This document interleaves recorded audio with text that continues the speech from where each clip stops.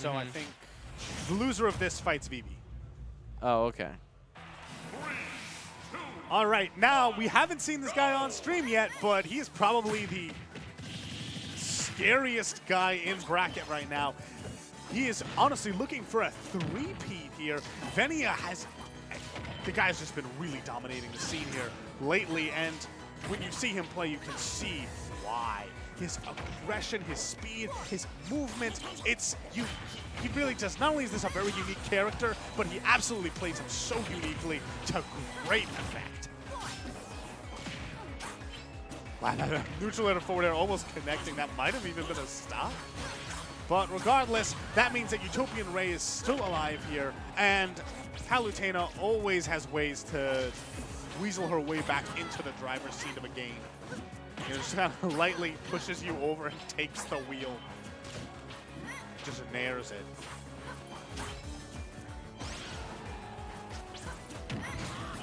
And that's one of the ways to do it. Just playing very carefully, barely being touched for the past 10 seconds or so.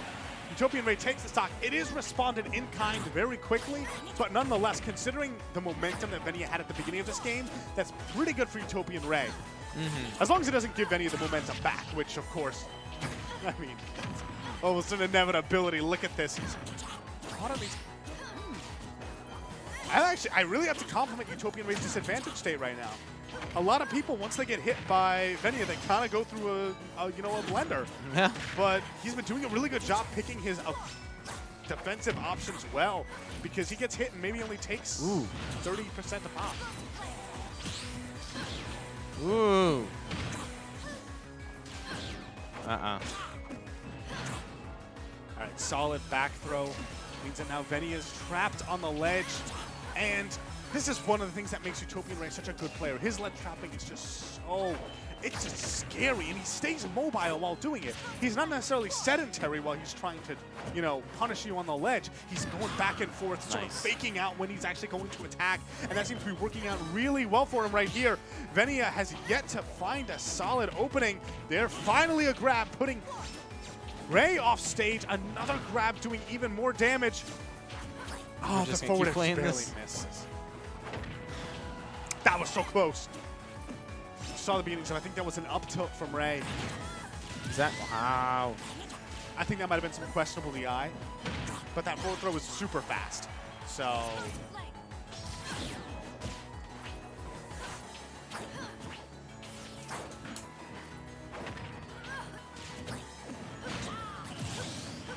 All right, just eat him right out of there. Bit of an overextension from Venia. Cost him pretty dearly because now this game is even once again.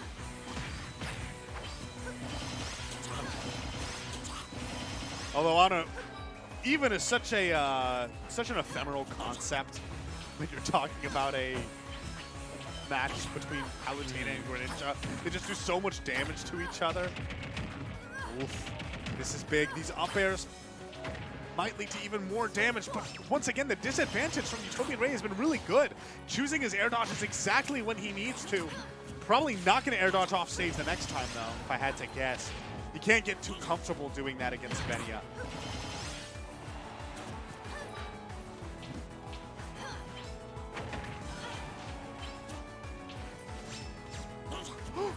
he actually teleports behind him. Such a creative option, and Venia was definitely not ready for it. These guys are both in the red, just about to peak past 100%. And that means that there are kill options available to both of these players. That up smash from Greninja is so scary. For another one of those. Actually, Utopian Ray's been air dodging a lot of these moves and been getting away for it. Another air dodge off stage this time. Then he is able to just get damage here, but he needs a big finisher. Uh, And he put himself on the edge there. If that cost him the game, he would have nobody to blame but sound. and back throw is going to be big, possibly, but Gavenia not able to actually find any sort of finisher here. Look at this, the mobility between these two. That explosive Ooh. flame was so gutsy, but it just barely misses on Venia. And now 146, that neutral air is really big. that's not gonna. Be huge. Oh. I feel like in that situation, he probably Because I know he knows that he's going to hold out and not get the combo from the back air. But if he like read the jump and then go for the up air early to catch him. Yeah, if you're Venia, you have to be careful with how you move, just because that explosive flame can end the game from across the stage. No. Back throw's not enough, but 143%, and Venia is once again on the la- ledge, has to be scared. Oh, that Well, was big. That should it. be it. And up to finish it. One final overextension on Ray's part.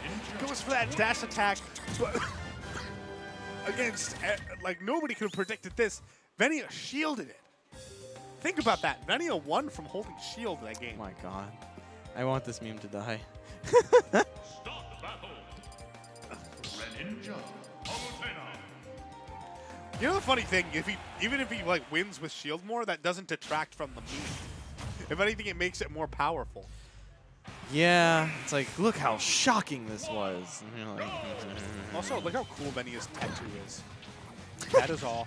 it's been a work in progress for months, and now it's done. So it's finished all the way. I think so. Yeah. So that's why uh, Venia's been opting to wear sleeves so he can keep his shirt open. Wait, is that how that works? Uh, that's that's that's what I'm assuming the logic is. I didn't realize that. Like, I, is there like a set amount of clo- like cloth that a clothing has? You can't go too low. Why does he need to displace from sleeves to chest? Because he's got to have something uh, open. Why can't he just have both open? Then he'd just be not wearing a shirt at all. But Anyway, if he's really proud. Whoa! all right, now, all right. That's that's my own fault. That's everyone else here. We apologize because uh, Ray is also pretty cool. That just reading the counter, getting the down air was really big for him, and that means that now he can run away with a lead. This is something that we didn't really have the chance to do. They were always neck and neck, even though they would fight out. They would really fight it out. do it again. He's dead. No, Never he's mind, not. I'm dead. it was me. Palu with a stock lead is a really scary thing. Except, you know, when you do that, it's all right. You know, Ray is going for sort of uncharacteristically, just goes for hard commitment. You know? Mm-hmm. Like he went for that dash attack in game one. Right there, he went for the up smash and it cost him. All right, Okay. good job. Getting a two frame on that down tilt means that he can once again play to a lead a little bit. The difference between like being at zero and the opponent is at like 100 ah. on their when you're at the same stock and when you finally take that stock, it's just it's so big. Because you can change the playstyle to now, okay, I can just like get chip damage. I can every neutral interaction, every neutral win is huge for me. this point. You can tell that's the what's in Utopian Ray's mind right now.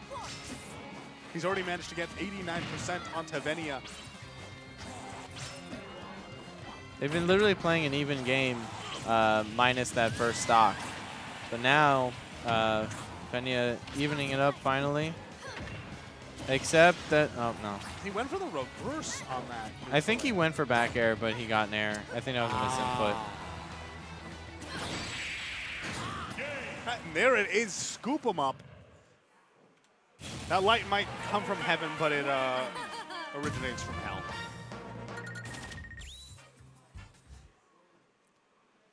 Where are we going? Uh, I would guess. Okay, so maybe Battlefield, Town and city. town, and city.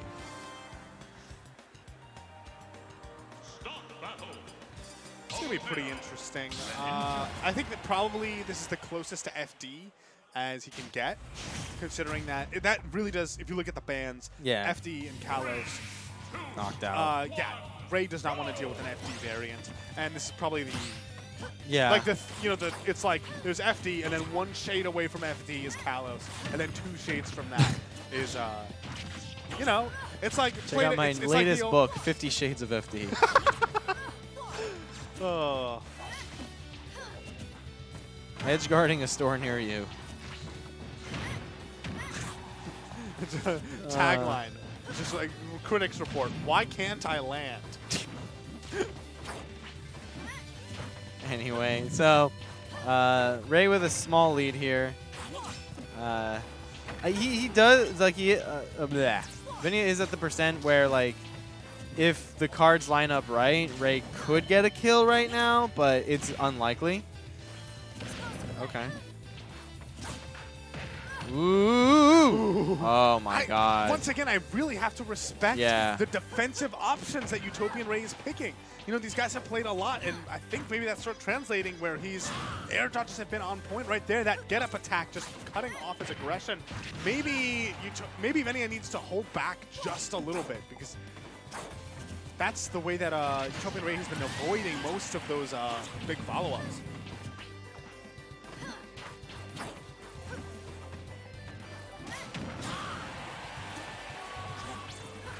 Dash attack was big, but it wasn't enough to actually do the deed. Ray has to act fast before the percents get too far away from him. He also has to act fast before the FD variant comes back. Okay, right, there it is. Evening up those stocks.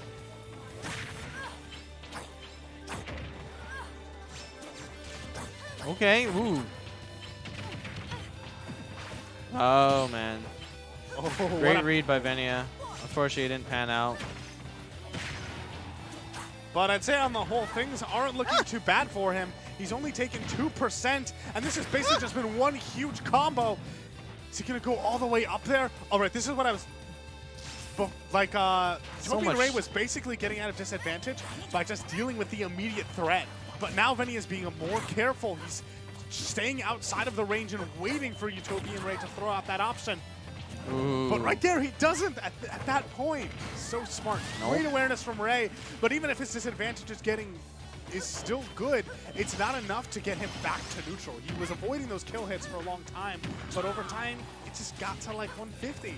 And now he really is playing from behind. He needs to be getting some kind of early stock. You know, he was going for some of those a bit weird aggressive options, you know, like the dash attack, like the up smash.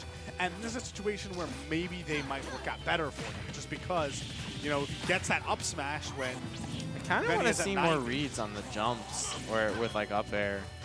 I feel like that would, at at the very least, like add some pressure to like when, he, how he's coming down. Oh no! Oh, he went so far. Oh, he kept his jump, so he's fine. But now he's like getting quite a lot of damage racked up on himself. That even if he gets this kill, then he's gonna be in a pretty comfortable position.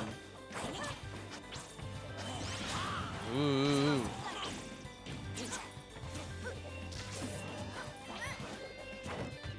This is a really pivotal moment here. This is like the point. So if if if Ray is able to take Venia's stock right now, he absolutely can keep this game. But Why not up air? Would up air not have killed? I don't think it would have. Uh, Greninja is a super fast faller. Maybe. I mean, Town does have a really high ceiling. It know. also might have been complicated with like he would have landed before because he was on the platform.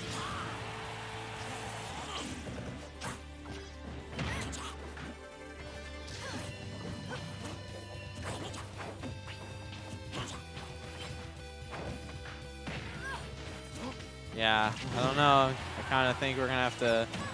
Oh, really nice counter though to get him off of him. But this back throw could be big. Sends him way off stage. The teleport recovery has been really helping out Utopian Ray getting back to the ledge. Counter is now a kill option. But at this point, I don't think Benio would go for something like that. Maybe now he would. I don't know. Because getting grabbed is like the worst thing in the world right now, right? Ooh. Yeah, just send that little guy. Go get him. Go, my child. Vanquish my foes. Kill my enemies. That's going to be it, though. Great job following through. And that's one of the things with Greninja's speed. Just just on top of that target throughout. And then as soon as the invincibility ended, he got the back air and wins the set. Venia still on track to possibly get this three-peat. As he's moving on into winners semis